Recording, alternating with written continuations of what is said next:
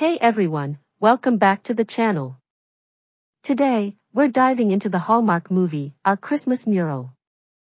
Now, this one's got all the cozy holiday vibes and a dash of artistic flair, so let's unwrap this festive story. We meet Olivia, an abstract painter with a knack for creativity. She's juggling a lot, from being a curator to a single mom to her son Parker.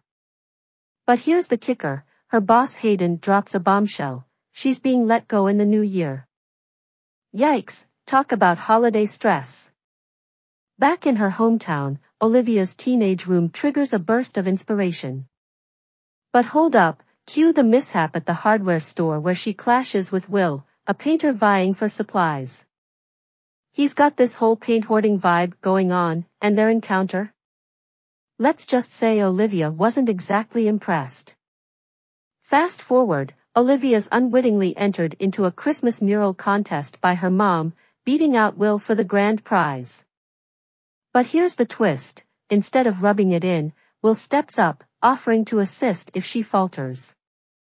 Things take a turn when Olivia's friend nudges her to enroll Parker in an art class taught by none other than Will himself. Olivia's not thrilled, but sparks fly between Will and Parker, who's missing a father figure. Turns out, both Will and Olivia have their own stories tied to art therapy. As they collaborate on the mural, their bond deepens. There's Thai food, heart-to-hearts, and a whole lot of paint involved.